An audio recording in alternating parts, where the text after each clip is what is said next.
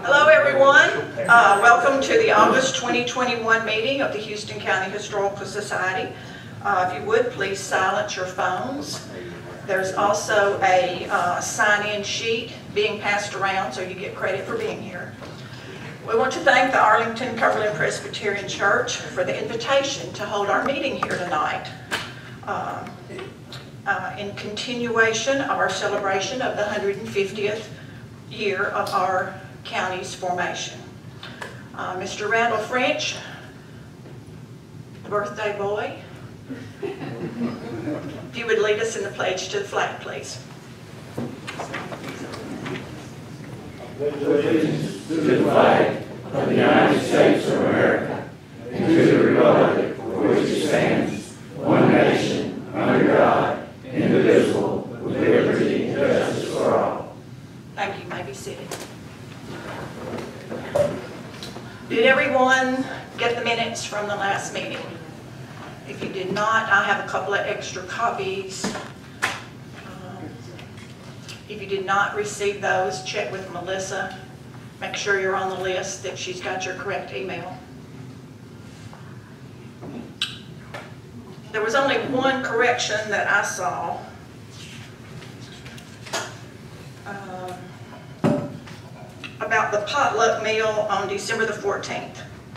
It's, it should be potluck meal, it says potluck mean, but maybe a mean meal. There's there's another one too, on the book that I, that the guys have talked about, but nineteen sixty-four instead of eighteen sixty-four. Okay, all right. well, Sorry for that. Okay. Um, Is there a motion to accept the minutes? So moved. Is there a second? Second. All in favor? Aye. Any opposed? Um, Leah, do you have a treasurer's report, please? I do, we had income of twenty-seven cents in interest, we had forty-five dollars in books. We had expenses of twenty-seven fifty on postage, and uh, we renewed our PO box for sixty-six dollars. We've got just over three thousand in the money market and just over eleven thousand in our CD. Thank you. Is there a motion to accept those? So moved. Second? Second. All in favor? Okay. The dues, remember, are ten dollars per year per household or fifty dollars per lifetime per household. Um, I've had a few people to uh, ask for a few moments for announcements. Donald, if you would go ahead with your announcement, please. Okay, we're- we're going to try and do a World War II program similar to what we did with World War One. We're probably a couple of years out from that, but we're going to have probably over 800 people or 800 veterans that were from Houston County that was in World War II. So if you all could look in your histories and stuff and put together your, your dad's or grandfather's information and stuff and share that with us, we'd appreciate it. Hopefully, we'll be able to do something like we did at World War One out at the Ridge on that and include everybody in the program on that. But you can contact myself, Deborah, uh, Melissa's at the archives five days a week now. We'll be glad to scan anything and just give it right back to you if you can share that information with us. But we would appreciate it. Thank you. Ski? Um, Last time I talked about a couple of programs, we're gonna be at the home place in Land Between the Lakes on the twenty-second, twenty-first and twenty-second of August. Well, they've both been canceled because of COVID and they won't allow anybody in their theater, so they got canceled. And also, I don't know if I mentioned this or not, but we had two hummingbird banding scheduled. One was at Tennessee National Wildlife Refuge and one at Cross Creeks. They've both been canceled as of today. So that's why I'm here to cancel stuff. Sorry about that. Uh, Jerry Bobby? Yes, I, Howard Other Day, birthday boys? well, thank you. Howard Day called me, uh, thir, um, let's see, no, he called me on Sunday and said that they're gonna have the Danville reunion this year. And it's gonna be held October the second, which is the first Saturday of October. And it's gonna be at the McKinnon Community Center. And he wanted everybody to know that they were welcome. They're gonna serve meals at lunch. And they're gonna have a little program down there, but he would like all of us to join if we were capable or so wish. But uh, They canceled it last year because of the COVID, but he did say that they are planning on having it this year. Okay, We'll put that on our calendar. Melissa? Uh, first, let me do the minutes. Does anyone know a Charles McDowell? Lives in Erin? Yeah. moved to Clarksville. Okay, his, his minutes are coming back. So if anybody knows his address, you can get it to me, I'll be glad to send these back out to him. Stick it me, I'll give it to him. Um, and I have a couple of things from the archives. Um, one thing I wanted to, uh, tell everybody about was, um, we got contacted by the, uh, Wilson County, um, and Tennessee State Fair. They're having their fairs conjoined this year together. Um, and so they sent out a letter to all of the county mayors. And they wanted to include all the counties actually in this fair this year. So they asked for two things. They asked for a Pick Tennessee item, which if you don't know what that is, it is something that is made in your county, they're unique to your county, um, handmade, homemade. Um, and they asked specifically that it would be found in a home pantry. So Donald and Jackie and Kay helped with this project. Thank you very much, because I could never have done this by myself. Um, and so Donald picked, uh, reached out to the Clark Farm and we sent a jar of tomato juice, fresh homemade tomato juice, and Donald almost drank it. Um, and then the other thing that we sent, they asked for a small display. Now, when they said a small display, they wanted it 12 inches by 12 inches by 12 inches. So, and we're, put everything you think about Houston County within that cube. And so we got together and came up with this, I'm gonna pass it around. Um, like I said, Donald and Jackie and Kay really worked hard on this. We packaged it all up, we sent them a picture of what our little display should look like when they set it up. I asked them to send us a picture back of it being displayed. So if you have a chance to go to the Wilson County Fair, which starts August the twelfth through the twenty-first, um, you can look for our little display, I'll pass it around. Let me, let me talk about the fair second. I lived in Wilson County until I moved here twenty plus years ago. It rivals the state fair. It is a huge, huge fair. Well, they're doing it together this year. The State Fair and the Wilson County Fair, they're combining it this year, so. Great. So Houston County will be represented at the fair this year. Great. So we're excited about that. Um, I don't know how many other, uh, counties have sent in things, but we only had like five days to get this together and send it in. It gives a very short time frame. But we represented, um, Irish Day, we represented the, our birthday, hundred fiftieth birthday, um, and a couple of historic elements, so hopefully that'll be great. The second thing that I'm really excited about that I just found out today actually is, has been approved. Um, since we got a new microfilm machine for the archives, the library has transferred all of their microfilm to us because their machine is older, they can't get parts for it anymore or service for it anymore. So now we have all of the microfilm in the archives and I reached out to the Tennessee State Library and Archives because they have an interlibrary loan program where any microfilm that they have at their facility that is um, eligible to be loaned out can be loaned out to a facility that's approved. Today I got that approval, so if you are doing research and you see a uh, roll of microfilm on TSLA's website, I can order it and have it sent to Houston County. We keep it for 30 days. You can look for- at it as long as you want to, then I send it back. So that will help us here in Houston County, don't have to drive all the way to Nashville. So that's a great service that our archives now can actually provide to our citizens, researchers. And so, like I said, if you find something like that, just let me know, we can order it and have it brought here. And that's all I got. Are there any other announcements? Renetta? Okay, Sweet Tea and Southern Arc is not canceled this year. It's gonna be August twenty-seventh, twenty-eighth, and 29th, and we've got a bunch of good artists and some new ones, so y'all come see us. It's at the Cumberland Presbyterian Church in Erin, and expect to see everybody there. Okay, thank you. Any more announcements? Okay, so now what you all have come here for, uh, the program from the Arlington Cumberland Presbyterian Church presented by Will and Derek Pryor, and I'll turn the program over to them. Thank you.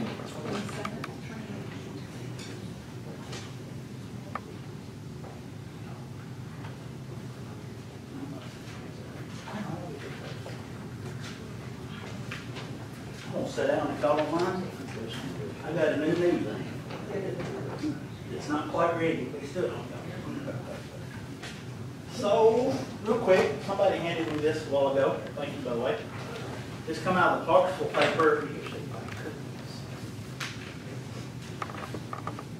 on. August of nineteen thirty-three, it's just talking about the Cumberland Presbyterian Church and its origins. So anybody that doesn't know, the Cumberland Presbyterian denomination was started at Montgomery Bell State Park. That's the original log house where the meeting was held and the Little Rock Church. And actually, that part of the park is not owned by the state of Tennessee. That part of the park is owned by the Cumberland Presbyterian Church. Most people don't know that, oh, probably a couple of acres, two or three acres in there, the church still owns. But thank you for this. So, is TV on well? You just look on me?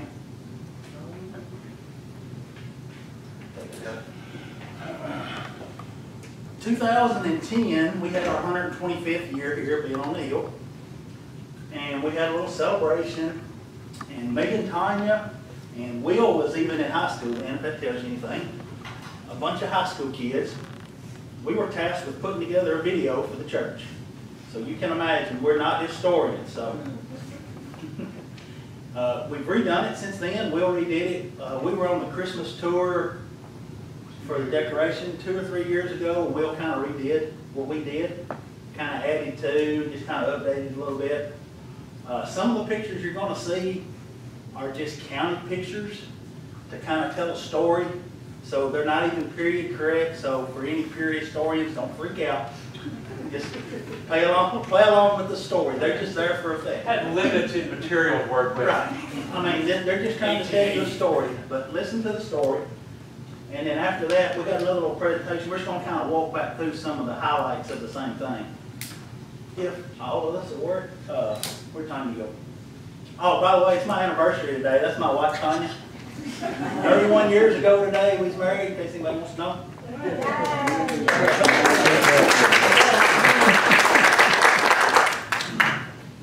Turn these out, you may want to turn those back there. I'll turn the first row out. I was trying to get some of the glare off the screen so you all can see. Will, you get the remote. Maybe one gets this light off. I don't know. If can't hear on the back, let me know.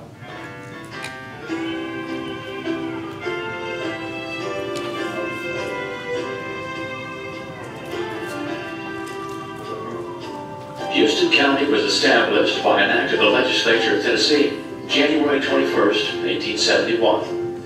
It was comprised from a portion of Stewart, Humphreys, and Dickson counties. As with the creation of any new local government, there was a great interest in the selection of the county seat. Tracts of land considered were Hollister's Field, now Erin, McMillan Farm, now Arlington, Bateman Farm, and West Farm. After the election, the results showed that McMillan Farm had received the most votes. The county seat was placed at Arlington. The first court met April 3rd, 1871 at the Union Church at Erin Station. In October 1871, the court ordered a frame house erected at the county seat at Arlington, the cost of which was not to exceed $1,500. J. J. Pollard, H. H. Bucco, and J. L. McMillan were appointed as magistrates for a commission. Their task was to draw up plans and specifications for the new courthouse, as well as advertise and receive bids for construction. The contract was awarded to G.W. Bucco for the sum of $1,440. Lot number 26 of the public square was purchased and would soon become the building you are standing in. The original structure was completed in the spring of 1872 and the young government of Houston County found itself with a brand new courthouse. The first court convened in this building May 6, 1872. There were plenty of disadvantages to this location, the most notable being the steep grade of the land. The trains couldn't stop here and had to continue on to Erin Station, making it very inconvenient for passengers to get to the county seat. On August 1st, 1878, after occupying the building for only six years, the decision was made to move the courthouse from Arlington to Erin, a much easier trek for visitors. Shortly after the decision was made, the records were moved to the new place of government in Erin, on November 1st, 1878. After the county seat was moved, the courthouse at Arlington was used as a school and a church for a short time before it was finally abandoned. In September of 1885, the commissioners decided to sell this property in Arlington. Lot number 10, which was formerly the courthouse, would soon become the Arlington Cumberland Presbyterian Church.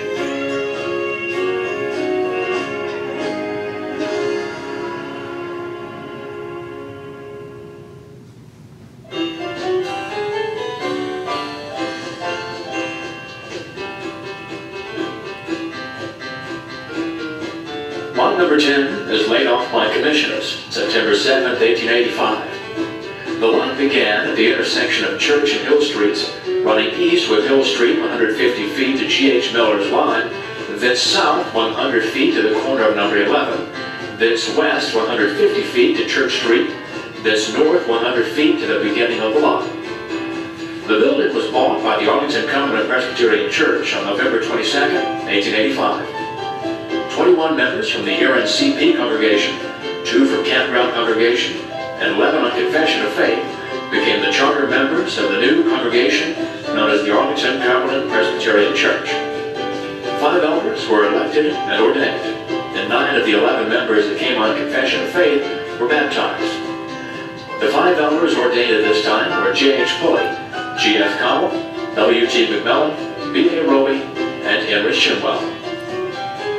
The following year, in the summer of 1886, the congregation decided to acquire a bell. On motion, a resolution of thanks adopted to wit resolved that this church tender Brother Joe M. Harris thanks and high appreciation for his kindness in raising monies and purchasing a bell for this church. It was made by the L.M. Rumsey Manufacturing Company in St. Louis, Missouri, which at the time of operation manufactured everything from fire engine hoses to railroad supplies. That same size number six bell is still in use today.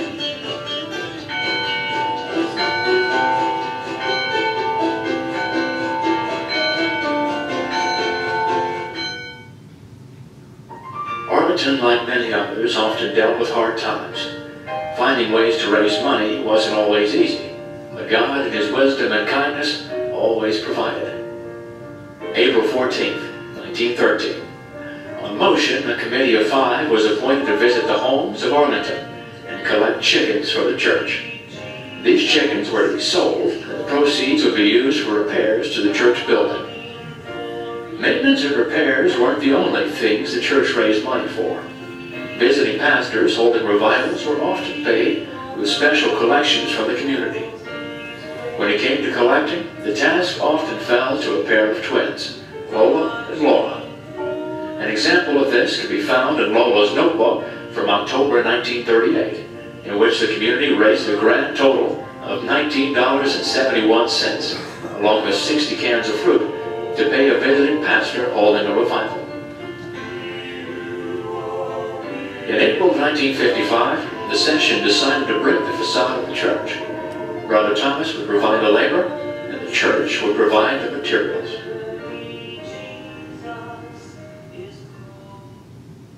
Over the next 60 years, a number of changes and additions were made to the building. In February 1972, a discussion was had to add to the church building approximately 500 square feet, which included two restrooms. That same June, the contract was signed and approved with Tommy Nichols for the addition. Later that year, December 17, 1972, the session on motion agreed to make some changes to the plans of the new addition to the church building. They agreed to partition a small kitchen at the end of the fellowship hall, which would have cabinets and a water heater as requested by the CP CPW. December 20th, 1984, a new addition to the church had just been completed. This included a fellowship hall, Sunday school rooms, and a pastor's study. The session inspected and accepted the building, making the final payment to the contractor, Kerry Powell.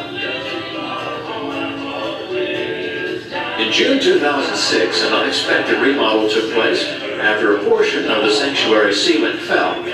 For the next nine months, worship services will be held in the fellowship hall. The congregation met and decided to replace the ceiling with wood and to also add new lights, paint, flooring, and a sound system. Jonathan Mitchell would remove and replace the old ceiling, part of which was original to the old courthouse. For the next few weeks, the congregation met at night to stain each and every board of the current ceiling above. In December of 2010, the session decided to replace the old asphalt parking lot with concrete in preparation for homecoming. A few months later, Jenny Averett had completed the new concrete parking lot. The most recent change to the Arlington CP Church came in the spring of 2016, in which the church saw the addition of a dishwasher, food warmer, and other appliances all featured around a brand new central bar, and eventually took the shape of a new kitchen to better serve the fellowship dinners and other events held in the fellowship hall. Even though the building has undergone numerous changes and additions, the heart of the original courthouse still remains, as it continues to serve Houston County and the Arlington Cumberland Presbyterian Church.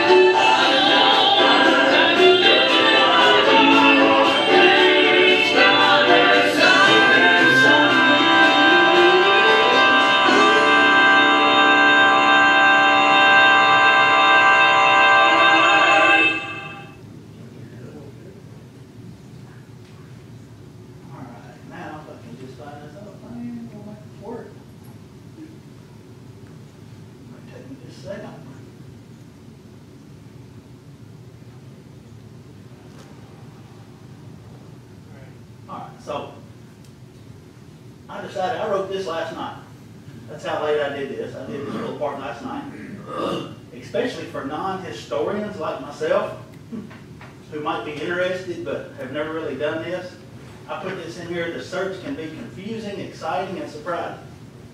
So I'm gonna start with the confusing part. When we started this, my great aunt, Elizabeth Knight Adams, she was the clerk or secretary of the session for, how many years, Mama? Forever. Plus. Anyway, so after her death, she had these boxes of records and boxes and boxes and boxes of stuff. So that's where me and Tanya started, was going through this. This was the first piece of paper I found. And I'm pretty sure this was probably drawn out by my granddaddy sometime, probably in the seventies, when we had our hundredth birthday. He was looking for the same thing. And this was copied. He kind of scaled this out of the original county minutes that are on file. Well, what confused me was, I know where Hill Street is in Erin. I know where Church Street is in Erin, and I know where Main Street is in Erin. And it sure don't look like this. If he hadn't had church written down here in this little box, which one of these will point, Will? Point to number ten. I'm the pointer now. Right here, where, where, where, where? Down here at number ten. If he hadn't had the word church wrote down there, I would have figured out what I was looking at. Only word you can read. So, uh, so that's the first confusing part. So apparently at one time, Church Street was right out here in front of the church, oddly enough, when it was the courthouse. Hill Street was beside the church, and then Main Street was now what we call Arlington. Uh, I do know for the longest time, Hill Street, Church Street, well, Hill Street stopped at the back of the church. From there down to the old Southern Gauge was built way on up in, uh, some of you all may remember, Uncle Butch remembers, in the sixties. So, and there's an alleyway, there used to be two alleyways, but basically our parking lot now is taking up both alleyways, but there was an alleyway basically behind the church and then right beside the concrete parking lot. I can, and you can still see those a little bit. So that was the confusing part. I'm gonna, I'm gonna skip the exciting part because it's all exciting now and go to the surprising part. So we're going through these records and I find what appears to be a bill of sale for the church. And I just take it out and I hand it to Tanya and I say, look, here, here's a copy of the bill of sale when we bought the church in 1885. Well, she opens it up and gets to looking at it. She goes, no, this is the original because you could feel the stamp marks where it was notarized. So we have that piece of paper here. Uh, so that was the surprising part. Uh, smart enough. So I, this is what was laid off in the county minutes. And there's lot ten. Uh, property lines have moved, I'm sure, but I just tried to make this fit. So I told Charlie the other day, I had questions for you all. So we know what was on lot ten, it was this building. What was on the other fourteen lots? I mean, was it just county property or were there other county buildings? Does anybody have any idea? Because they sold all four, all fifteen lots. And I just always wondered, I know what was on lot ten, because that's the only one I've ever been interested in, but maybe someday we can figure out what was on those other fourteen. Because the county owned the property, that's the way they had it all drawn out. And you can see right beside lot number nine over here in the corner, they're using it as a driveway. Yeah, that's an old alley that I can even remember. And then if you look right behind the church building, where I've got our property line shoved back against Mr. C's wall, that's what I based it off of. There's a good chance his wall probably is his property corner. There's probably an alleyway and then our property. So if you take that and kind of shift it on over a little bit more, it matches up better. So we've always known that we own the whole city street. Our property line line's always gone across the road. But that's just the way it is over time. There it is kind of zoomed in. I just always thought it was ironic that the courthouse sat on Hill Street and Church Street and not on Main Street. And then eventually this became a church and we changed the name to Knight Street. But I don't know if anybody, has anybody ever seen a map where this is Hill Street, Church Street, and that is Main Street, what we call Arlington, coming up by the post office? Which I guess it kind of makes sense. Uh, So as you heard, 1885, November the 22nd, that was the first official church meeting. Uh, We do have all of these documents. We have all the church minutes from 1885 to last week. We still got them all. So kind of, they're in kind of like little protective bags right now, because we don't touch them, they're just there. Don't breathe too hard. Yeah. But they are here. Uh, I'm gonna read these names because some of you all know some of these people. You're probably kin to them if you live here anytime. They were not big about first names. They used a lot of initials, always. But some of the members that transferred from the Erin congregation to start this church were S.E. McMillan, N.C. McMillan, Betty McMillan, John Shimwell, R.E. Connell, Alice Connell, A.B. Connell, B.A. Roby, J.H. Pulley, S.M. Slaughter, W.H. Terrell, W.T. McMillan, J.K. Bone, M.E. Terrell, L.S. McMillan, Barney Wallace. I guess he didn't have a middle name, so he had to put his full name in there. Uh, G.F. Connell, E.A. Nichols, J.E. Shimwell, T.V. Shimwell, and Lucy Shimwell. And then what Will called in the video from campground, the actual official minutes say Wells Creek. That's what the church was called back then. That's the same, Wells Creek became campground later. S.E. Knight and L.E. Knight came from there. And then the ones that were on, as the video also said, Profession of Faith and some were baptized, were M.B. Slaughter, G.W. Knight, William Henry Nichols, W.B. Pulley, W.H. Shimwell, M.J. Pulley, E.C. Roby, Russ Buchanan, or Buchanan, with an A, by the way. I know we have two Buchanan cemeteries in the county, one with an O and one with an A. Uh, Sally A. Miller, Georgia Florence Connell, and G.W. Slaughter. And then the other five there at the bottom were elected elders. Uh,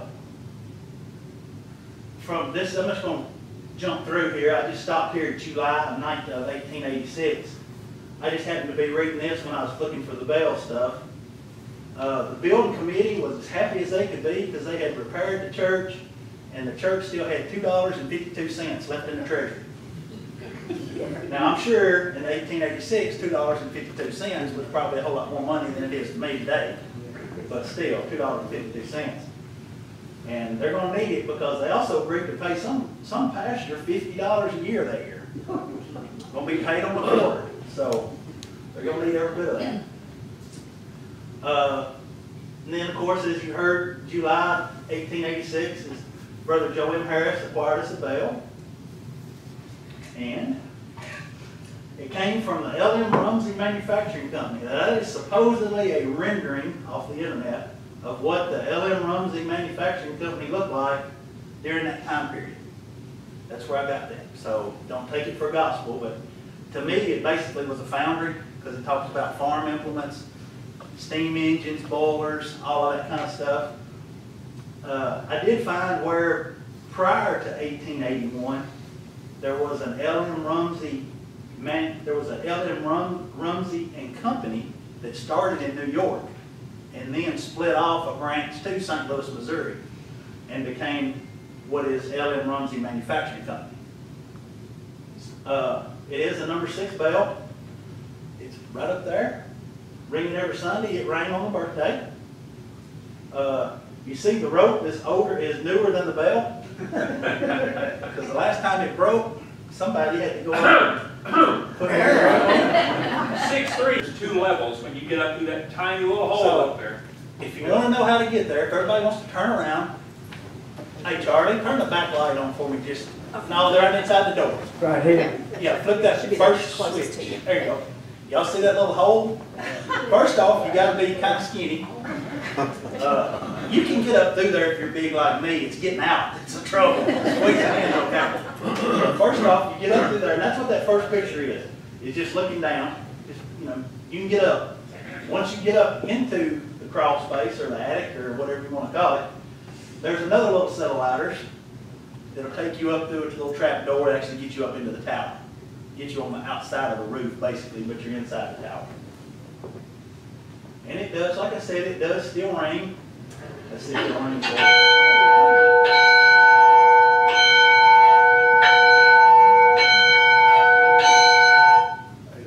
So believe it or not, we was actually up there when, he- when I was ringing the bell. It's very, very loud. I don't know how you And can if anybody wants to ring the bell, feel free, but be careful, because you can turn it over. And then somebody has to climb up in there and unturn it over. So, but it still rings. Uh, that was true about raising money for the chickens. That is actually in the session minutes. Uh, apparently chickens were a lot of value back then. You all know way more about that than I do, but that actually did happen. Uh, I wasn't sure whether to put this in here or not, but me and Tanya had a big time reading this kind of stuff. Apparently, back in the day, if you were misbehaving in the church, people would come see you. Now, this one is from 1938. It just says, didn't name any names. Before 1938, let me tell you, they named names. I'm kin to most of them. I will tell you this, from about 1885 to about 1910, apparently there was a pretty big Fourth of July celebration every year because it had a lot to do with drinking on the Fourth of July. Somebody being drunk in public, I guess the public had a lot to do with it, I don't know, but, but, yeah, they would come see you and talk to you if they thought you were not acting right. Uh, it probably was a good thing. I don't know, maybe we need more of that today. Some people being held accountable. But I did put this in here, yeah, we are just a church of sinners like everybody else. We're not perfect. But it is kind of neat to read, back in the day when they were naming names, I guess it wouldn't be if your name was in there, but. These are the twins, I think a lot of people here probably knew the twins, Lola and Laura. They were school teachers. Uh, Lola was never married, Miss Laura was, uh, married Mr. Lloyd Roby. That is her book from 37, 38, there may be some 1936 in there. It's laying in here on the table. We still got it. It was in that box of stuff. Just happened to be laying in the bottom of it. And this was also in there talking about, there's all kinds of stuff they took up money for. You can thumb through it, and they would be taking up money to pay the light bill. Or they would be taking up money to do this, or taking up money to do that. And just look, you know, you can find, they kept up with who donated what. So, you know, if I could read all of her handwriting, I'm sure, but just look at the amounts, you know, we're talking nineteen thirty-eight, you know, somebody was able to give a dime, somebody was able to give, well, excuse me, two dollars, a nickel, twenty-five cents, they take anything. And apparently preachers work for free. Because this was, I think you might be able to see it up at the top, but it says Brother Davis and Douglas. So I think they had two pastors that week, or maybe over a two-week stretch, I'm not sure. But they did collect sixty cans of fruit that would be split between the two of them, and I'm assuming they probably split that nineteen dollars and seventy-one cents. Uh, 1951. I put this in here because the ceiling is not, the ceiling wasn't always shaped this way. Back in the late, like forty-nine or fifty, the church almost blew over. And Uncle Butch will tell you, somewhere there's a picture of brace poles holding up the church. It's trying to lean. So they agreed to straighten the church and add, it's kind of hard to see in this picture, but if you see the bracing that's basically coming down, that's what these are. The original ceiling height is the center, and that's where the original ceiling was. You can barely see it in the picture there. Maybe a little hard to see when the ceiling actually fell and you can get up there and look. So the original ceiling height is in the center. These are just braces that were put in in the fifties because the church almost blew over. That was the only, that's the only reason it's shaped like it is today. Uh, they did brick the church in nineteen fifty-five. And, uh, I don't know who Brother Thomas was, but apparently he could lay brick. This is just a picture, I call it maintenance day. Every church does this, I'm sure, has maintenance. I don't know what year this is from, but I do know the young man standing in the door is a young Harold Butch Knight. So however old he is now to however old he was then. I don't know, looking at the back end of that truck, I almost say late sixties or awful, awful early seventies. Just looking at the back end of the pickup truck. I don't know who anybody else is, it just looks like they're having a work day. But the store there, have to be in the Yes. fifties, early sixties. Yeah, the store is there. Well, I'm thinking about it, there used to be a store that sat right across the road for, I don't, when I was growing up, it was a TV repair place and something else, and something else, but it used to be a general store, correct? Right. Back in Uncle Butch's younger days. Uh, in seventy-one, that's when we added the first addition. Uh, basically two restrooms, fellowship hall, and you saw the little kitchen. Uh, To tell you how much the road has changed here, you can see, used to, you went down one, two, three steps to a sidewalk. You could walk all the way to the end of the sidewalk towards the road, and then you had to go down two more steps. Now the road's almost as high as the church. Just over time, that's how much the road's been built up. I can even remember that. That's just kind of what the old fellowship hall looked like in the seventies. Uh, I don't know how we all fit, got in there and ate, and still had the little kitchen, but we did. Uh, like I said, this was in eighty-four when we added the classrooms on the far end, and that's pretty much the way it looks today. Uh, this is pretty much, this is what we did in eighty-four, that Carol Powell built for us. After that, we did kind of do a little bit first rendition to the old fellowship hall. Basically turns it into a class, couple of classrooms, uh, nothing major. Two thousand and six, this is when we found out a lot about the ceiling of the church. The ceiling did fall, right about where you're sitting, right there. Right, about there is where it, right about where it's at. That's where the ceiling fell. So that's when we decided to take it all down. And that's when you could see the original ceiling was up above that ceiling. So part of the original ceiling was still there. Uh, in case you're wondering, the church is not square. They found that out real quick when you try to put a new ceiling in. And if you ever tried to drive a nail through a hundred-year-old piece of oak that's been seasoned, that didn't work. So they wound it up, Jonathan Mitchell did it. They scabbed boards onto all the rafters, and we basically just went to the back and pulled a string to the front and said, that's gonna be, it's not level, but that's gonna be straight. So that's why it is. But, so really, you can see the, the ceiling is not at the top of the windows. The ceiling matches the roof line outside. That should be the top of the ceiling.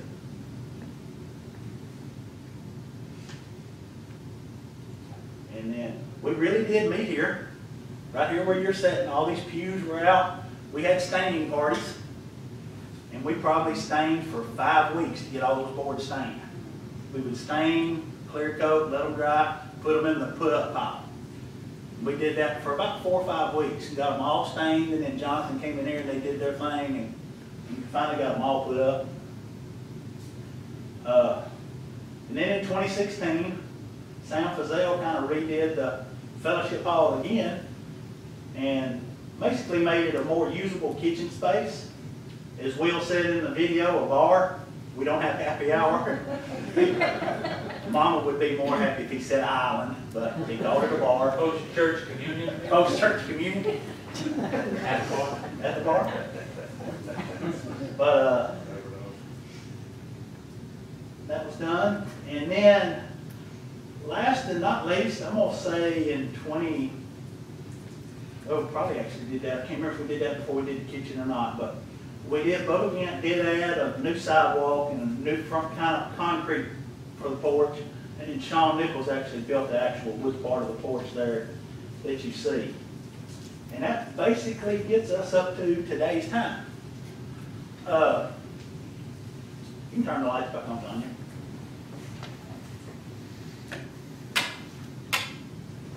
That gets us back up to today's time. Uh, you saw a part there in Will's, a little bit, looked like an old home movie plan.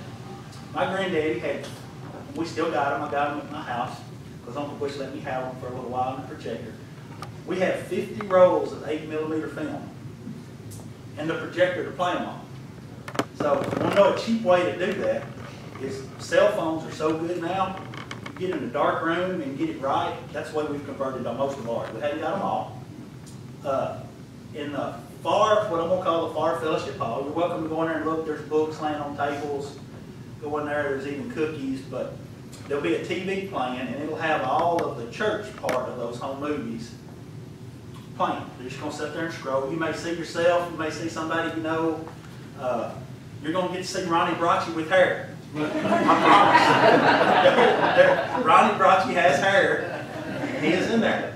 He is on film. I saw it. I think it's about like sixteen or seventeen minutes of. It was filmed- It was on fifty different rolls, so we just had to cut that little part. Uh, Another thing, just to let the historical society know, when- once me and Will get all this done, we'll make you a copy. On those same fifty rolls, there are probably eight to ten total minutes of different Irish Day parades from the early seventies. And now, you have to know how my granddaddy filmed with eight millimeter cameras, kinda like watching a bad version of Cops sometimes. You have to take motion sickness pills before you watch it, because he gets, he gets to looking instead of filming. But I do know there's one part on there that has a Erin Bank float, which has my mother-in-law, who is passed now, Shirley Harris, she was on it, Miss Kathy Parchman, Laverne Harris, Miss Betty McKinnon, and their hair was this long, and their skirts were about this long, riding on a float. So that had to be in the early, early seventies. But there's some of that, and a lot of that was taken when I was probably five, six, seven years old, so that would have put it in the early seventies. But when we get that, we'll get you all copied. You know, it, it may not be more than five minutes worth. And I'm not sure what year any of it was taken, because it's all mixed up, but you're welcome to have a copy of it when we get that done. And other than that, that's all we have. What about the stained glass windows? All right, my granddaddy was a carpenter in Clarksville. He worked for Mr. Isaac Buck, who built houses for a long time, and then eventually he became a carpenter for the city of Clarksville before he retired. These windows came out of something that they tore down in Clarksville. Is that right on the books? No, Or where did they come from? I don't know. I know he brought them in here somewhere, didn't they? some group got together, I don't know if it was- if it was a women's fellowship hall or group or or what. And uh, basically what you had was just plain glass. And they decided they wanted to make it look more spiritual, more, more, whatever you want to call it. And uh, they picked out two colors blue and uh, whatever that is. And uh, after work in Clarksville, we did come over here on Saturday or Sunday, or one night, and he replaced each and every one of the clear glasses with the ones you see in there now. We're going on a wing and a prayer uh, with some of the uh, panes of glass because uh, I guess we were kind of rowdy when we were my age, a little more. And there's some BB holes in uh, some of the windows and some are broken. And where the door is to the fellowship hall used to be another window. So that window has donated its life. Other, and we're about out of life. There's very few panes left. Uh, just so you know, there is a basement under this church, hand dug. Uh, it's not very deep. They hit some hard pan. It was too hard to dig, so if I go down there, I gotta be careful, we've got a duct, we can get to a cross beam. But there is a hand dug basement. That's where Sunday school classes were when I was little, until we built this, well, even after we built the first part of the fellowship hall. But all the way up until eighty-four, Sunday, and they used to think it was a big room. Well, it's, it actually was a bunch of little rooms tied together. And the cool part was to get all the way to the back and have somebody turn the lights out. It's pretty dark down there, and then try to find your way back out. But now it's just used for storage, and my mother would have a heart attack if anybody went down there because it's probably not this perfectly straight. But It is a hand dug basement. Uh, There's water that doesn't come in from the street, it comes up from the ground, sitting on top of this hill. It's got a sump pump that's pumping water all the time. So I don't know if we, I guess we struck oil or water in one. But There is a hand dug basement under this church that was dug probably in the fifties, Uncle Butch, forties, fifties. I was born in sixty-nine, that's all been here. This, I was in, uh, with Betty Barnes' class, and, uh, she just had her last child, so you can figure that out from number of children she had back. Okay. So I, I guess was about nineteen forty-nine or fifty. when they dug this basement. Basically, just cut a hole in the floor and started digging and shoving it out in buckets. Well, where the steps go up, that was the ramp, start there.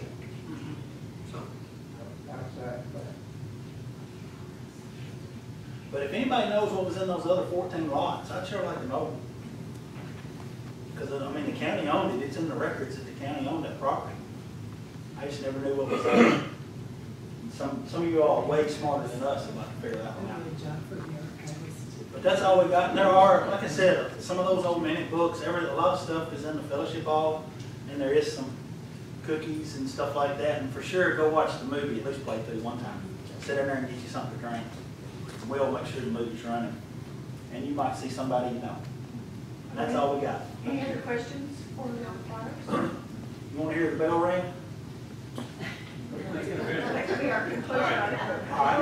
Now, I'll, I'll do it because if I turn it over, then I gotta go fix it anyway, so it's not. Hey, Will. Sir. Open the back door, because it is hard to hear. Because we insulated the ceiling when it fell in two thousand and six, and now it's hard to hear sometimes. I'm gonna do the bell ring, but it will ring. You don't have to open that one, just one of them's enough. Over here. If you hear a thud, You can definitely hear it ring. If you hear a thud, then I did it wrong. All right.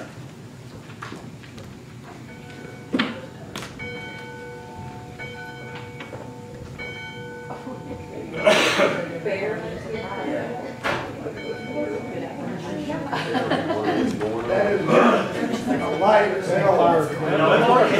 It ain't, it's not light.